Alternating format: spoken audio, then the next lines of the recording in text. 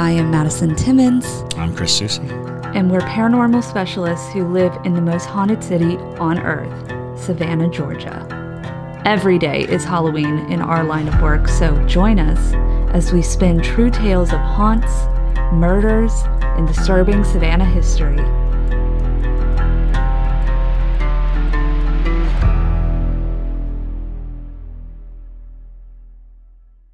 I'm Madison, I'm Chris. and, welcome, to the most haunted city on earth. Hello and welcome back to another episode of the most haunted city on earth. My name is Madison Timmons And I'm Chris Susie. and we are back with another Q&A. So, thank you guys for utilizing that Q&A button on TikTok. Uh, you make my life so much easier uh, from doing that. So, I really appreciate it and you guys always come through with the funnest like uh funnest, fun or most fun. the most fun. Funnest The works. Funnest works. Sorry. Put that on My- a t-shirt. You know, it's been a long week, y'all. It is October. It is busy season, and my brain is like like that. So Yeah, it, Yeah. we've been very busy, especially Madison. yeah. So uh, excuse me uh, when my brain does that. So yep, uh, you guys always come out with really great questions, though. But uh, with that, JT, you have some announcements for Yeah, us. just a couple quick announcements. Um, alrighty, the next episode, which will be the episode, uh, this Tuesday's episode, uh, is going to be with Josh Runyon, the security guard. I mentioned that last episode. Uh, we're very, very excited. He's the security guard that um, wa- is in that TikTok w- that went viral, where all those creepy things were happening in that uh, in that cemetery. Is really, really uh, freaky stuff. Um, so that's this Tuesday, uh, or you could become a Parajunkie right now and listen to it right now. Um, and we have a merch store that drops on Halloween. Woo woo. Uh, we got some really, really cool merch. Um, I'll be posting that soon. Um, or you can become a Parajunkie and take a look at it right now. And sorry. Um, uh, eh, okay. Madison and I are going to be up in Asheville uh, for our uh, one year wedding anniversary. But we are also going to be doing mobile podcasts uh, Yes. for the Patreon. So very, very, very excited uh, for that. We're doing what Helen's Bridge. Yeah, we're doing Helen's Bridge, uh, which we have been to before, and we had a Oh, paranormal yeah. experience with that. So we'll talk Oh, about yeah. that in the mobile podcast. well, but- actually, yeah. yeah, Should we talk about it now? We can give a little teaser, we can sure. yeah. okay. I mean, so- because we're gonna be mainly storytelling, like you know, in the in the mobile podcast. We can talk about it in the mobile podcast too, like while we're there. But it is a, it's actually like it's kind of a weird story. it is weird. It, it okay, go for it. Okay, so basically, um, for my 21st birthday, JT had uh, made me this drinking scavenger hunt. Um, so basically, he had taken the story of Helen um, and mapped it out. So I would have to go to different breweries and order a certain beer to get a clue as to where we were going to like solve uh, Helen's like mystery essentially. It was really fun, very creative. He's a very creative man. Um, but yes, so the ending would be we would end up at Helen's Bridge. Um, and I would be a little bit toasty, so it would be fun. Uh, ghost hunting while toasty. And so, yeah, JT was fine. But regardless, um, so finding Helen's Bridge is actually a bit tricky because it's all the way up in the mountains. Um, you really kind of have to know where you're going to not miss the turn to head up to the bridge because it is like the sharpest right hand turn you could imagine on the side of a mountain to get up to the bridge. And so we were driving and we missed the turn. And right when we were about to miss the turn, we heard the loudest smack like on the top of our car. Now, mind you, we were driving my Volkswagen Beetle that has a soft top because it's a convertible. And it sounded like someone hit solid metal. Like Yeah. it was that loud. It scared the bejesus out of me. Yeah. I almost wrecked. I Yeah. almost wrecked the car. And so we were like, that's weird. Um, and we had been talking the whole way up. We're like, oh, we're going to Helen's Bridge, yada, yada, yada. And we were driving into what looked like a neighborhood at this point, And we're like, oh, we missed that turn. And when we realized that where we heard the noise was the turn, almost like something was telling us, like, "Hey, you got to turn here. we know that you want to go see us. We're right here." It's like Helen was like, "Come on, come on, you freaky people, let's get it." you know, so seriously. So we'll we'll talk we'll talk more about it. We'll talk more about it. Um, you know, during the mobile podcast. But yeah, that's exactly what happened. That was, Yeah. that was that was Yeah. crazy. All right, so we'll do that, and then we're gonna do um we're gonna do like one or two other uh places um up there because Asheville's freaking haunted. Bro. it is. Yeah. Yeah, I mean, I was thinking about doing the uh, uh, what is it, the Basilica, or Yeah. and then you talked about the Battery Park Inn. Hotel? Yeah. Yeah. so we, you know, There's all sorts of haunted There's stuff. plenty. Of, even Yeah. the Biltmore is haunted. Oh, I mean, yeah. Biltmore. Okay, um, we have a new Instagram. Yes. What is it? It is the most haunted city on earth. What? What a weird name for our Instagram. I know, Why right? would you make it that? I know. Ugly. Oh, Madison. All right, I guess. must have. Also, um, a couple episodes back, I mentioned uh, uh, just leaving us some five star reviews, and we got like a ton out uh, like after that. So thank y'all so much for leaving us five star reviews on uh, Spotify and Apple. We really appreciate it. If you haven't already, um, you know they help out a lot. Uh, you know, people see that we're a five star podcast, and we try to keep it five stars. So. Uh, let's go ahead and start with the Q and A. Yes. Enough. Enough of us blathering. Blather. Blather, blather, blather. So. All right, here we go. Question number one Ginger Millennial asks Info on the stone wall where the danger stairs are by River Street? Question mark. I've heard that people died while building it and were just put into the wall. I love that you call it the danger stairs. Danger stairs. Death stairs. Yes. Yes. So, uh, unfortunately, that specific story of people dying while working on walls and being buried in them is kind of universal. You'll find it anywhere there are old walls. Um, the Midway Cemetery famously has a wall where the people who worked on it died and they were buried right there in the wall. And numerous places around the world have that same story. Uh, there is no distinct um corroboration to that, but there's also nothing stating that it didn't happen either. But what you do have are entrances through that wall into the city under the ground where they used to uh, put a lot of commerce, but there are also holding pens for slaves, and we are pretty certain that certain slaves uh, died in that, and and it certainly would make sense that they would not be given any proper burial, um, and the ground was probably earthen, so it, it would make sense that they would probably die there because a lot of people don't realize that um, while some slave trade happened right there on River Street, it was actually Johnson Square, which you had to go. They, so they would trek them under the city for about a block and the the auction site would be on Johnson Square. So th- there's a lot of speculation as to the kinds of horrors and terrors that were happening at the time. And Savannah itself, the downtown area, they had these commerce tunnels. Because rather than trying to lift, if you've ever been to River Street, River Street is below Bay Street, and Bay Street is the bluff that starts the city of Savannah.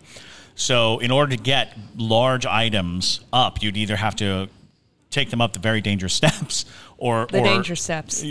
or, or lift them by you know uh, pulley or something. Uh, but there were places where you could just drive it straight into the city and deliver them to the commerce that that are all along. Um, I think it goes all the way up to Broughton Street, uh, which is interesting because Savannah doesn't have a lot of basements, but the buildings that do have basements were a part of this trade route. So um, the, that wall definitely has a lot of stories, and it runs the entire length of Factors Walk. It's not just at the danger Yeah. stairs. Mm-hmm. And if you walk up and down that Factors Walk, you will actually see doorways that have been bricked up. Yep. You'll see the outline of the door. You'll see that they've been bricked up, and that gives you that indication that these would would have been storage and or access points to get into the um, greater Savannah commerce. Yes. Um, and it, it isn't to say that they would bury people in walls. It's very common for people to bury people in walls in Savannah all over the place. At So, Colonial Park Cemetery, is a whole wall where people People's bury houses. yeah, people's houses People's too. houses. Yeah, it's um. Well, I don't know about all that. What you talking about? Oh yeah, people are buried in the walls of houses. Uh, Absolutely. the Foley house had one, but that was that's a fun story. Um, Mrs. Foley, you know. Um, Mm-hmm. Yeah. Let's have a let's have a separate episode on that. 'cause Yeah. I Yeah, we'll- that. we'll- we'll- yeah. Yeah.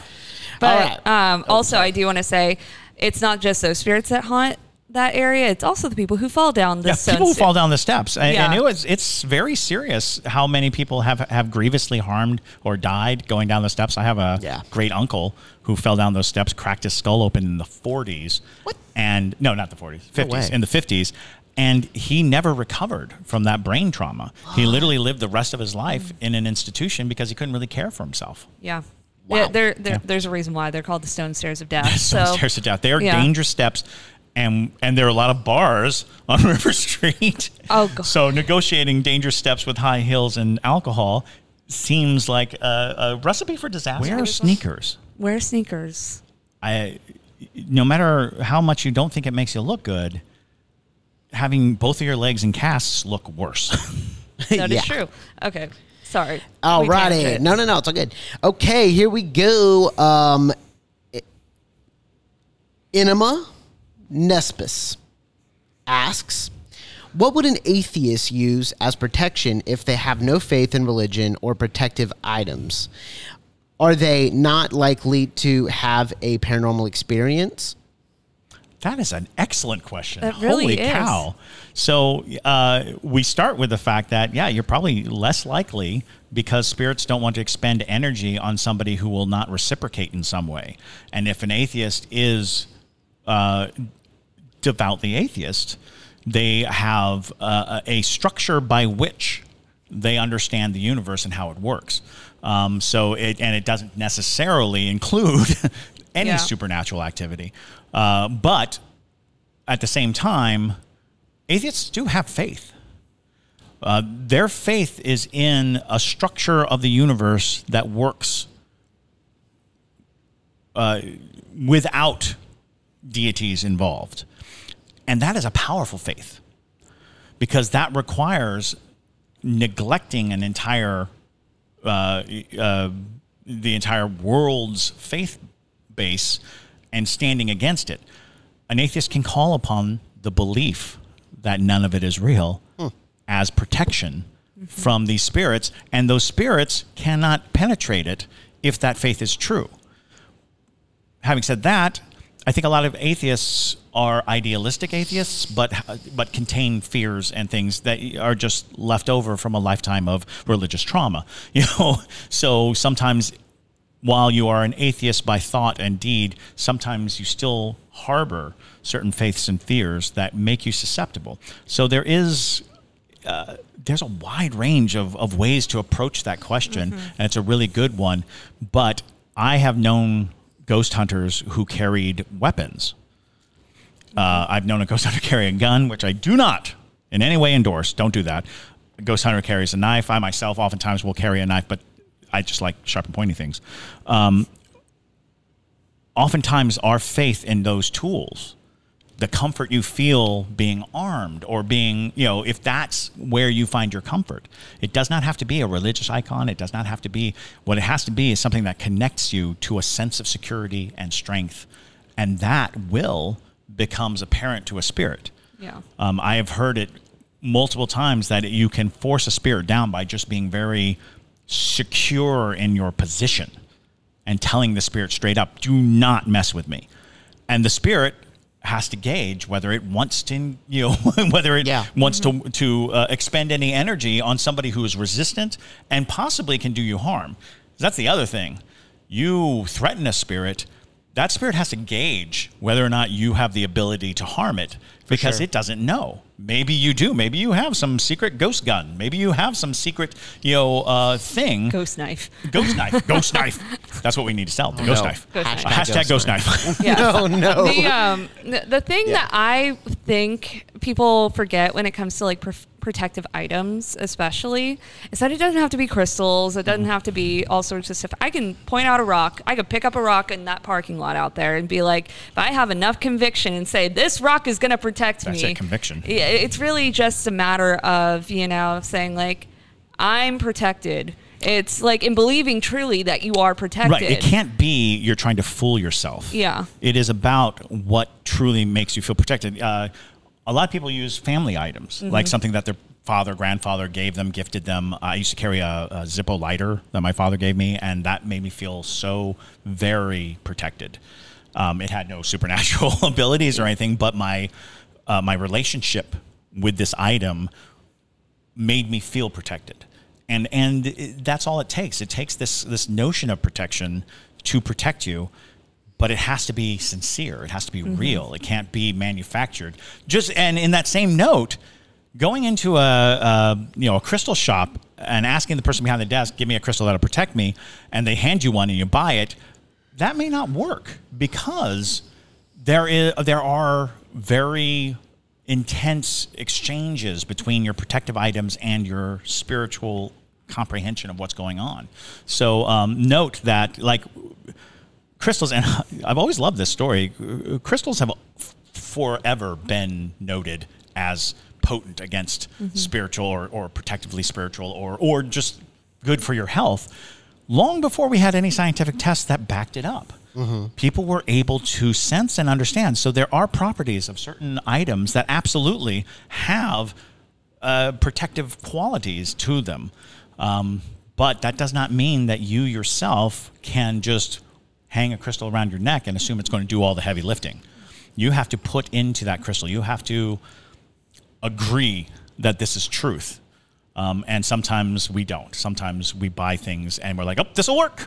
Yeah. I'm, on, I'm on it. It is. It, it is um, very much so about intention. Like one of the protection things that I have for our house, like spiritually, is moss balls. They have no protective like uh, correspondences, but you know what? You can you, You can, can put it it 'em, in. yeah. You can make them protective Yeah. if you want to, and so. Um, but yeah, that that's just an example of it. So Cool. All right. So on to the next question. Shades of Glitter 13 asks, can ghosts fart? oh lord, Uh, why do some spirits smell? So, uh, in the case of farting ghosts, um, uh, scarily enough, if you're smelling sulfur when, when, when, when an entity's around, you're not smelling a fart necessarily. You are possibly in the presence of a demon. Uh, demons are oftentimes marked with a sulfurous smell. Uh, so that is one thing that, uh, yeah, if a ghost farts, maybe you're dealing with a demon. Uh, however, interestingly enough, if a person is associated with certain things, like you know, you'll always hear like, "Oh, I smell my grandmother's perfume." Um, well, if you had a gassy person who, who passed away, their presence may very well be marked by that scent. Oh, boy. Uh, because you know, Uncle Fred was a fart machine, and after he died, uh, every time I go by his you know bedroom, I smell you know the fart. So yeah, it, it, it's a funny question, but it's it's worth noting. Yeah, you know what? Whatever perceptive uh, uh, tags to a person there were, oftentimes are the ones that stay and remain. Unfortunately, if you have somebody in your life or your, your experience that was particularly flatulent, then yeah, that might be the very thing that recalls it. Uh, I, I my uh, my dog was a terrible farter. Uh, and my dog would literally like enter the room, fart, and leave the room. and we're like, we just got drive by Our, our dog drive-by farted us. And after he passed, there was more than one occasion where it's just like, Ranger? Right? and and it was it was one of those things, and I, I there was a good bit of time, and you know this might just be memory when like out of the corner of my eye, I would have like ranger walking by or something. I'm like, oh, and it wasn't abnormal. It didn't feel unnatural. It was only after I realized he had passed that I was like, oh, was that my mind playing tricks on me, or is Ranger still running around the house? Well, and it could be a residual energy of absolutely. Ranger, you know. Um, but sometimes those smells aren't even associated necessarily with like a physical ghost. It can be true. residual. Um, like the Marshall House, for instance, they have a couple rooms there where, you know, the room smells like rotting flesh and things like that. But that's because it's a residual haunting from the amputations, from the infections, the medical procedures that happened in that building. It just leaves an impression. And sometimes those impressions smell horrible. So, yeah, you know, um, it's. Um, the DeSoto downtown has. Um, do you know about the soldier who died in the air conditioning system of yes. the DeSoto? Oh, No, no, so no. that happened like in 2006. Oh, really? Yeah, it was very recent. As a matter of fact, I was a part of a search party at one point No looking for this guy because he just disappeared. Nobody knew where he was. But um, the way they found him was a smell through the uh, air conditioning system, um, and people still, you know, this is 16 years later, Mm-hmm. will say every now and then they get a whiff of something really rancid. Oh, wow. And it's just like a, a passing like moment of oh, and it's like that's really interesting because of what happened. Why was know? the soldier in the? That is one of the great mysteries Yeah. because No, it it's a mystery? It's Like, a no one know- super mystery. Yes. because it was literally he called for a ride. His father was only a few blocks away, came to pick him up, and he was gone. And where he was found was triple. He had to go through three secure lock doors, get into a cage, get into the actual air conditioning unit. He got hit by the fans of the air conditioner, and it was just like, how does that happen? Whoa. And so Mm-hmm. a lot of people were just like, I don't know. And it took us, I want to say it was like two weeks of searching. Like we were putting up posters and going to all the places and asking around. And sure enough, when they found him, everyone was baffled because it was like, well, A, how did nobody know? It's like, well, because the air conditioner's also kind of weirdly off to the side of the building. You know, it's, it's not it's not even a place that people would normally go for even the most basic uh, maintenance and um, and yeah, when he was discovered, it was it was a, a story that was like very like ripple effect because it seemed very personal. You know, it was it, Yeah. it, it was just like oh Wow. was he murdered? But, you know, how did that happen? Because it just seemed so unlikely. A That's story. wild. Yeah. All right, going on to the next one. Uh, Corrine Denny. Hey, Corrine.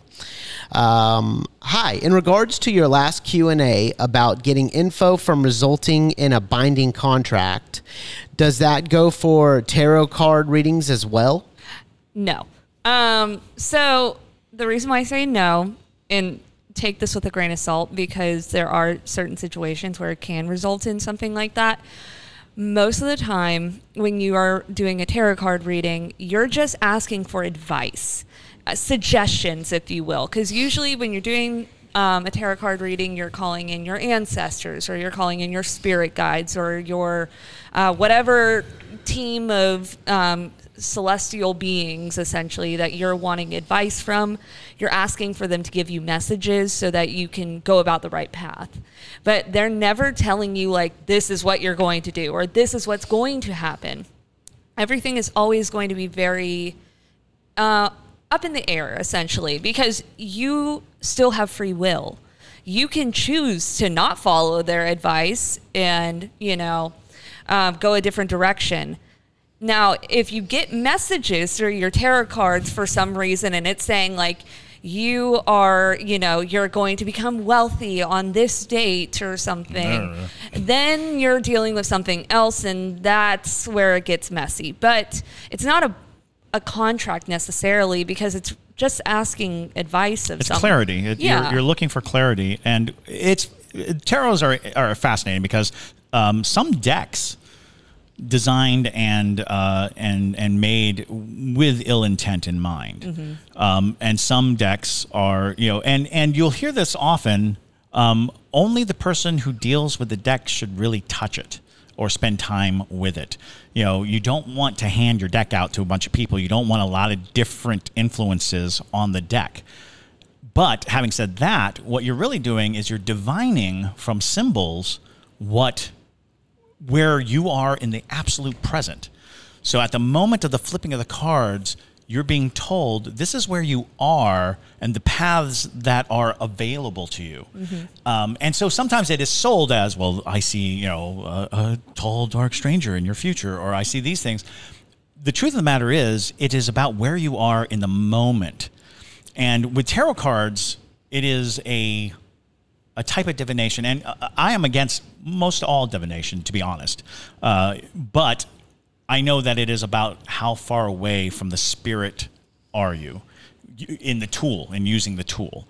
So it becomes a question of what is your goal, and uh, and tarots are very interesting because they are uh, a lot of it's it's about you know a shuffling of a deck creates a random effect and it is about the nature of the randomness of our existence and the, the very idea that we have free will suggests that what the deck is really doing is trying to give you focus and focal points in your life. So when you flip a card that says your past, any one of those cards can be interpreted for your past and events of your past. So by flipping this card and saying, well, let's take a look at what just came up, because it came up randomly and it absolutely addresses some condition in your life. Mm-hmm.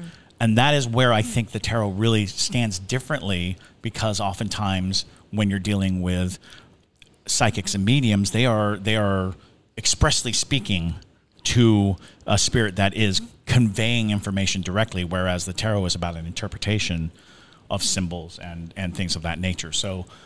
Yeah, um, I, I do have bad tarot stories, absolutely, but it's all about the intent of the person w- holding the deck. Absolutely. And so don't don't let people handle your decks. Yeah, yeah, well, yeah. Don't let people touch any of your witchy items ever. Um, I honestly don't really trust people seeing my altar most of the time, or at least some of the things Absolutely. I'll put away. And you know, um, it's it's important to you know um, keep things personal to yourself because it does it has your energy and it is a signature of you essentially.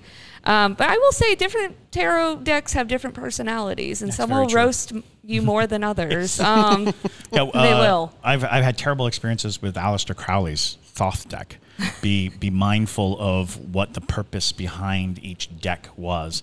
And Aleister Crowley created a deck that I I believe was designed and and, and manipulated to feed uh, a, a larger energy and um, and so and you can feel it you can you can tou touch it and taste it and say mm, this is it this is this is the one that needs to to go with me don't just pick up the the next one you know Yeah. because there's so many There so are. many Yeah. and you know the the the classic one I think is probably the most neutral of them all the the Waite the the uh, the Waite. Yeah, Uh, Waite. yeah. So, um, you know, the, the classic one I think is the most neutral, and you can also just use a regular deck of playing cards. Yes, you can. Um, you will miss out on a lot of the major arcana, but a regular deck of playing cards kind of serves the same purpose. It does have a lot of the notations and uh, and things that you would might understand to be um, spiritual communication. Yeah, that's actually how my grandmother used to read Yeah. cards. Um, no, in the uh, and because those weren't made with that intent, they have less likelihood of uh, of snowballing other spirits. Exactly. well, and you see, it's also th- this is a vessel of sorts because especially if you're sensitive um, or you have a good connection with your spiritual team of sorts, uh, you pick up on other messages in your own head too. Like where uh, you know, I I know the sp- specific voice of my spirit guides. You know, and I'm like, oh, that's them. Okay, cool. Picking up on like whatever it is that they're also trying to specifically say through the cards. You know, they're like, this points you in the direction. This is what we specifically mean. Things like that. So, All right. Good stuff. Next question comes from Aaron Bailey 2002. Could a haunted vessel literally be anything? I'm 20 years old and if I were if I were to die tomorrow, I would haunt my blankie. and uh, hashtag exiled me. Uh, hashtag Chris fangirl. Hello. Yes. Uh, thank you for the attention. yeah. um, absolutely anything, absolutely anything can be a vessel for a ghost. What you have to realize is that when you have an item, uh, in the spirit world, the idea of the energy is like we're all underwater. The spiritual spiritual energy is water, and that means it surrounds everything. It completely has anything physical is penetrating the spiritual realm, and any effort you put into an item takes away some of your energy. So yeah, anything that you uh, that you put love, concern, uh, uh, attention to can become the vessel of uh, a spiritual connection, um, a haunted item, as it were. Absolutely. Well, and I mean, there's all sorts of haunted objects in It the really world. are. It really, um, it depends on like the connection, like Chris said, with your relationship with that item. Um, it can be a chair that was haunted, or like you know, That's why ch- antique stores are so full of haunted items because really what you're doing is you're taking something that was sitting inside a specific energy and then moving it. And when you move it, it's taking a piece of that energy that it's soaked up for 50, 100 years. And now it's in a new place, but it still has that energy, that original Sure. energy that was all around it all the time. So, um, and not to say like, you know, ah, antique stores. Uh, it's to say Eh, well, that yeah, antique stores too. that's where well yeah that's where a lot of energy left over from lives and these are i always talk about the fact that you can have conflicting energies uh, an item may not be evil it just might have come from a house that had a different energy entirely than the house that you're bringing it into all of a sudden this object that you brought home, this vase you brought home, it used to be in a house that had entirely different ideology and an entirely different sensation and an entirely different way of existing. You bring it into your house, all of a sudden there's friction. And that supernatural friction might seem like, oh, it's evil. It's like it's not evil, it just isn't jiving with the energy in your in your surroundings. Sure. So if she if she were to haunt her blankie, uh, and let's say someone put that blankie over them, and it's someone who found her blankie, maybe someone that she did not like, maybe a bully, like you know, uh, from from younger years, and could she, if she's haunting the blankie, could she make it never warm the person? Could she make it fall off of them constantly? Possibly Like, give them yeah. nightmares. yeah. I mean, It's possible. it's very possible. I mean, depends on how strong of an entity she becomes. You know. That's true. So yeah, work out. Make sure that Yeah. your, work out. your, your, Yeah. your energy is strong so that you can you can do some blinky damage. Blanky damage. Blinky damage. Hashtag blinky damage. All right, here we go. Uh, Badsy Wifey uh, asks, "What keeps a spirit bound to the earth? Why are so many spirits angry? Is there any way you can help them?" Wow, that's three solid questions. Yes. Um, it's tricky uh, trying to determine what binds a spirit to the earth because it could be a number of different things. I mean, just burial practices in general. We've talked about, you know, just that concept of putting like, this is where you're going to be. Um, Carve you- your name in stone. Exactly. this is where you are now. That can bind things, uh, bind people to, you know, this earth sometimes. Um, it can be a lot of times what's keeping them here is, you know, that unfinished business. The, um, sometimes they just don't want to go over. and yeah, They're sometimes scared of it. unfinished business is being alive. You know, Exactly. it doesn't have to be some like I was murdered, must find the person who killed me. It's literally I don't want to be dead, so my unfinished business is being alive. Mm-hmm. And then, you know, there when it comes to like why are some spirits so angry? I mean, if you were an angry person in life, a lot of times that follows you over. You don't just your personality doesn't change because you're dead now, you know, you're still who you are. And, and worth noting, we the stories that are told are usually told about angry spirits. I, I believe that the vast majority of spirits are good natured, Mm-hmm. are perfectly welcoming, are perfectly you know content. Um, they're not angry. Uh, but they make for lousy stories. You know, nobody wants to be Mm-hmm. Like, I woke up and there was a ghost at the end of my bed and it said hi. I was like, oh, oh, okay. Uh, so, in essence, we tell the bad stories because it's compelling, and we uh, and, and and we're suckers for a good ghost story that is you know full of you know angry spirits and murderous intent and you know oh no. Menace. menace Yes. yes, Uh, but the truth of the matter is the that is the nature of human you know storytelling. We go for the sensational over the um, the normal you know normal things in anything, in books and movies, uh, you you find less and less of the normal experiences, and uh, you find all these heightened experiences, and so we tell heightened stories more often than we tell normal encounters. Mm. You know, I, I, have plenty of ghost stories that are literally just people coexisting in a house that is haunted. They don't, you know, there's there's oh yeah, there's a ghost here. You know, um, and that doesn't really read when you're around a campfire going, and they were very content with each other. you know, and the kids aren't like, oh no, they're content. So uh, yeah, I I think the misnomer is um, ghosts aren't all angry, but the stories we tell often are mm-hmm. about ghosts that are angry. Yeah, so it just seems like there's more of them. Exactly. Um, and then for the question of how can we help them? So the average person is not going to usually be the one to help a spirit crossover because that is a deeply personal choice for a spirit to do. And in my opinion, it really takes a special type of person to be able to assist those type of spirits. Um, like there are um, types of witches called death witches. Yep. That's their sole purpose, you know, of um, being is just helping people cross over. Like that is something they go through years and years and years of training and whatnot and studying and learning to assist people. And that's what their soul has been drawn to do. But like for the average person, I mean, like you can ask them why they're here and you can say like maybe do you see a light? Do you want to go over to the light? Yada yada yada.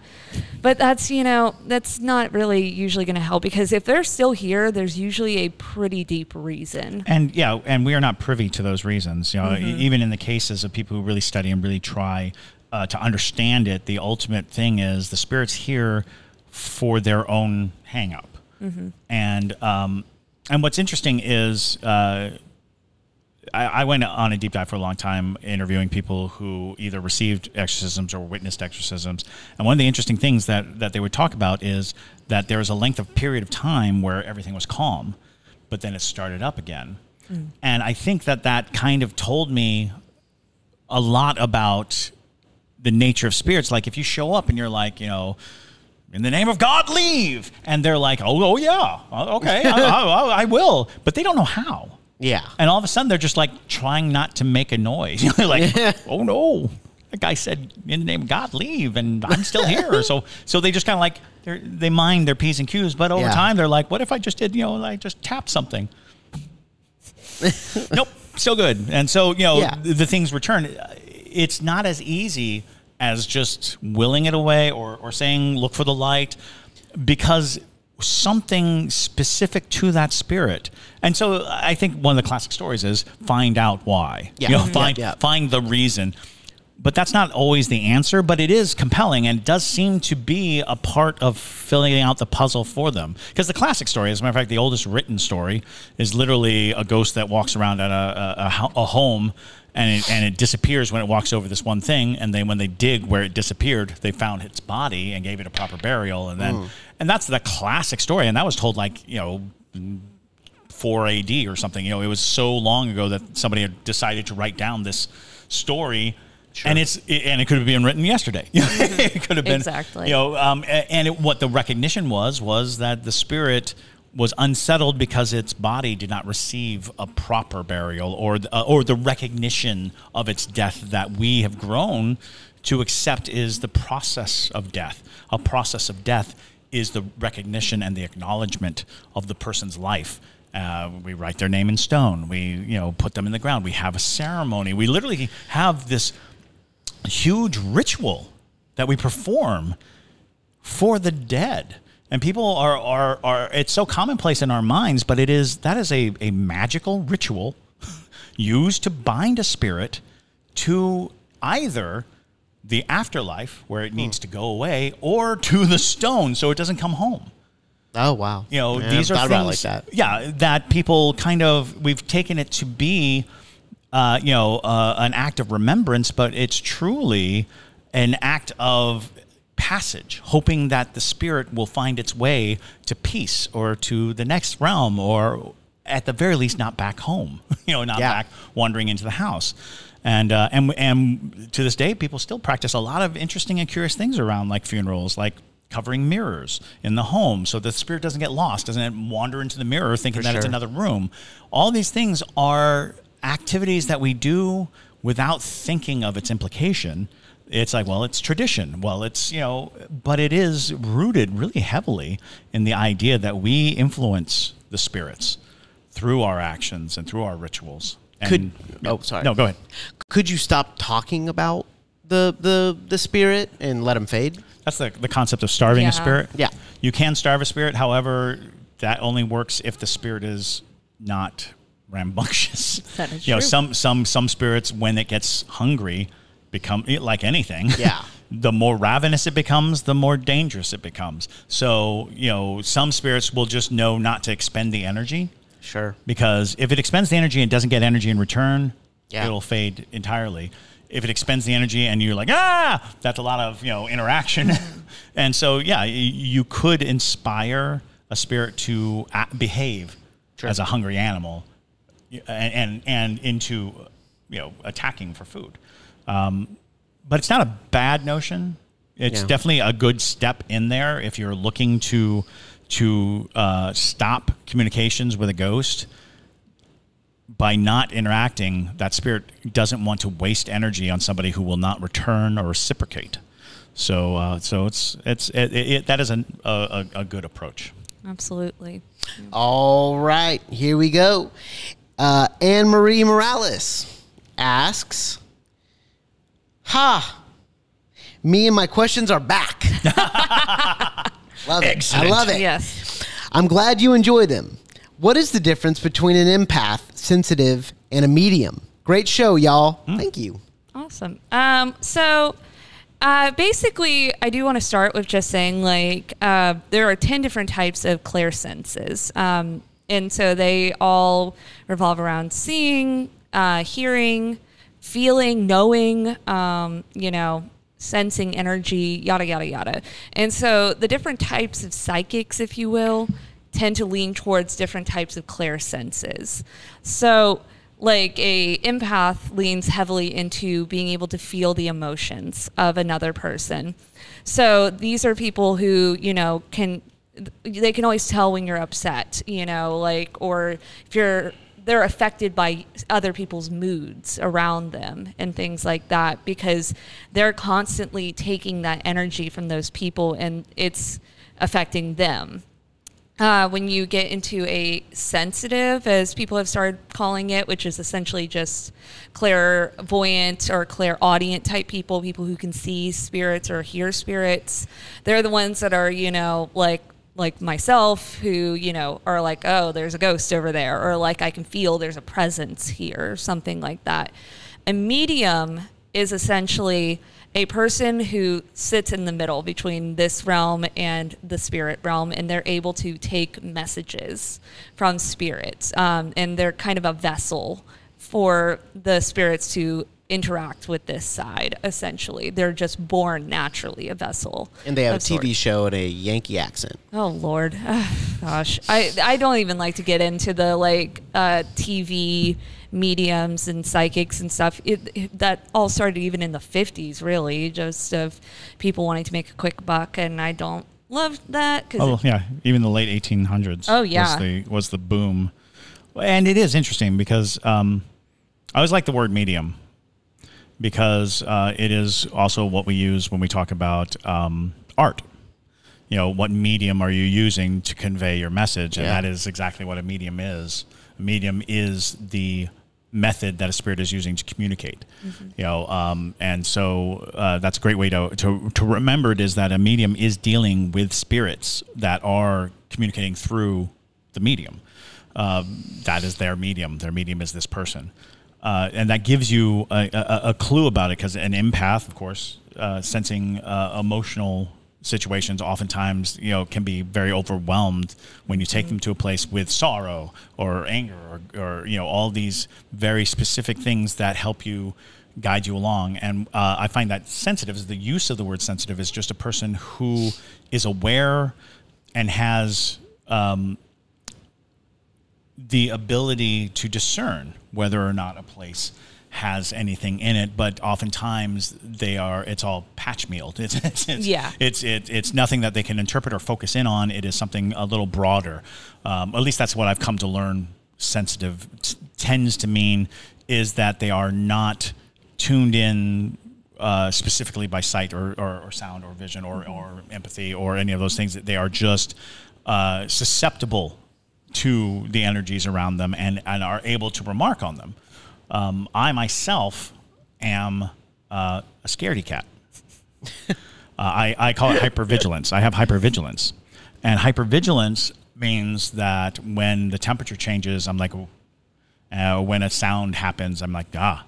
Um, and 90% of the time, it's it's perfectly natural. But that 10% of the time that it's not natural, it it it helps. Uh, but I don't have what I would consider to be any of the um, the key elements to sensitivity. I just I'm very aware of my surroundings, and and technically I'm very aware of threat.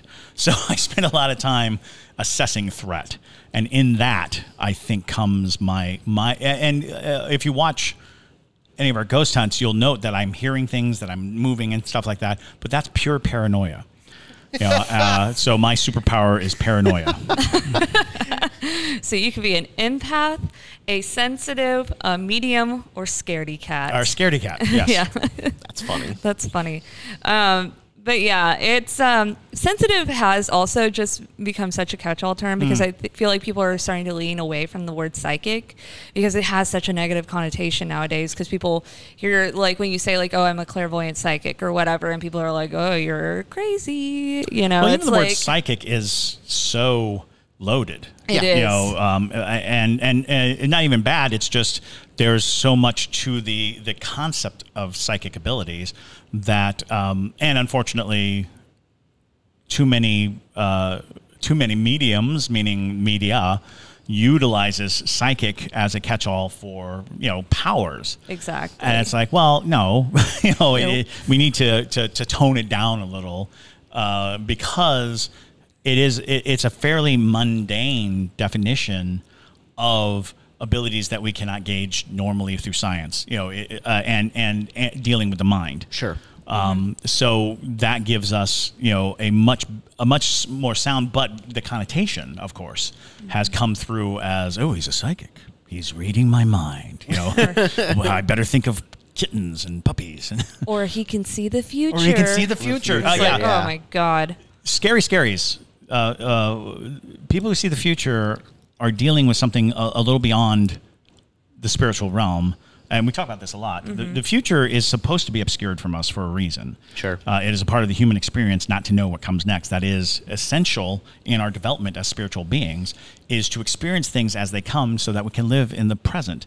When we become addicted to the idea of the future or the things that might come, and we go to people who are going to reveal it to us, oftentimes we are dealing with entities who have a notion and idea of this grand plan, which was not meant for us, which we are not meant to know. However, throughout history, there have been people who've been granted sight of the future and sight of things to come, which means that to them they have a purpose, a prophet, uh, you know, an idea of of of exposing the the exposing the future. Sure. But when we seek it out, uh, we are stepping out of our lane. We're, we, we are meant to experience life uh, progressively, not you know skip over you know Yeah. moments. All right. I would love to end this episode with a creepy story that happened um, uh, over the weekend. Oh, yeah. and uh, to Claire, uh, one of our actors, Madison. Do you want to go ahead and and uh, finish the episode off and tell this uh, terrifying story that Claire told us? And we even got it on tape a little bit. Um, so I was actually in the room when this happened, um, but basically on, well, I guess it, it was a Friday uh, because you guys are going to be seeing this way past when it happened. But um, this past Friday over the weekend, we basically um, I filled in as our host for the show. So we have a guide who basically leads the audience through the different scenes and yada yada yada. Um, so I was filling in for that. And so this we, uh, particular show, for some reason, um, in the demon house scene, we have a moment where the light goes out. Um, the demon shuts the light off, and the room fills with darkness and all that. And the light went out a little early for some reason this night. So Claire was trying to gauge like exactly when she's supposed to get out of the bed.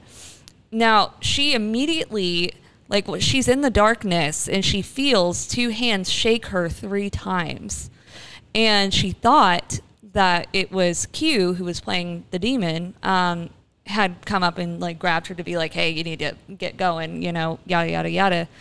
And then she basically, on the video, you see her go like this, um, pretty much like, like, who just touched me?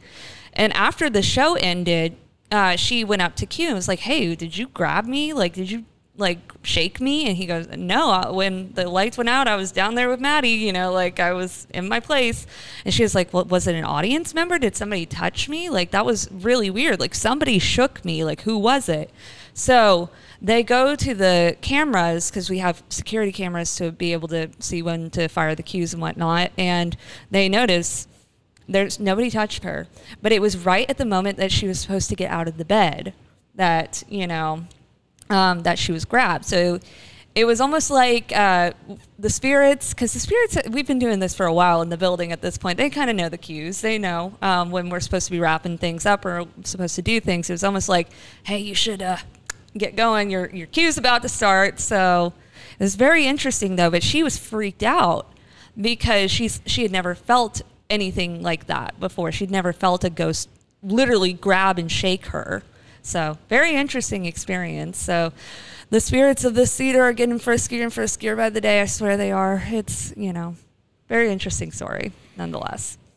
But with that, though, um, we are going to go ahead and wrap things up. So if you don't already follow us on uh, TikTok, make sure to follow us under the Savannah Underground and go follow our new Instagram, the most haunted city on earth. Um, also, if you haven't considered becoming a Parajunkie on Patreon, definitely consider doing that. But with that, my name is Madison Timmons. I'm Chris Susie. And stay spooky, y'all.